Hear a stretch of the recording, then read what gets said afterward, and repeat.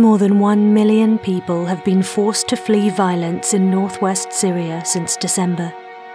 Their lives now hang in the balance of a fragile ceasefire, but the damage is already done.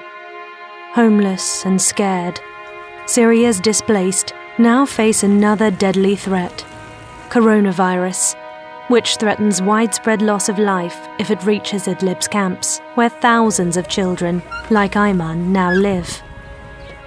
بسم الله الرحمن الرحيم. أنا أيمن عمري 13 سنة نازح من معرة حرمة إلى شمال إدلب في تل عدي كنا ساكنين ضربو ضربونا طيران ونزحنا إلى شمال إدلب هي ضيعة تل عدي وكنا ساكنين بدار اجينا على خيام. والحياة صعبة. نحن ما نحسن نقعد بخيام لأنه صعب القعد. كنا ساكنين بدور زحنا على.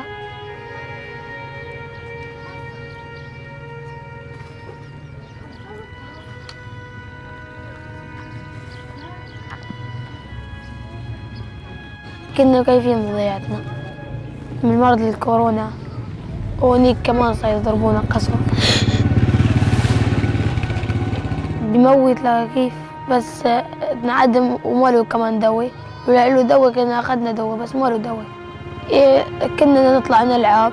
هلا لعب يخلونا ان نطلع ليش من الطرفين كورونا والحرب. الكورونا هو قاعد تجي. أما الحرب اجباري نسعي نروح نزيد أن نبعد بين الواحد والواحد القليل متر أو مترين ونحط كمامات أو وشيك شيء ما يلتقي النفس ببعضنا. وشو ما نعدم الكورونا. وإن شاء الله ما بيجي علينا. واحد عطس أو قاح بنعرف منه إذا فيه أو لا. وما بنعرف حتى يصير 15 يوم. باين مع ال 15 يوم بكون عادي أقل شيء 100 واحد. بضيع وباء عالمي.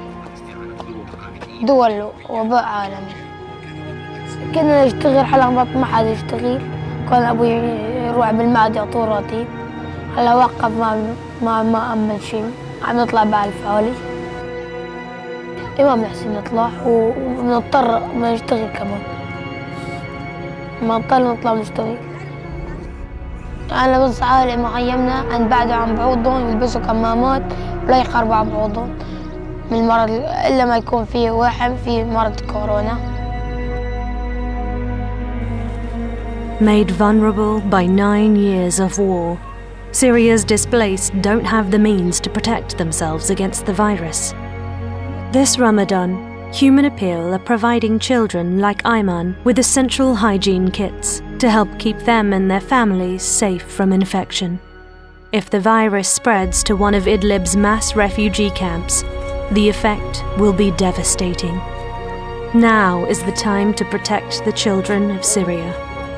Tomorrow could be too late. Donate now by calling 0161 225 0225 or visit humanappeal.org.uk.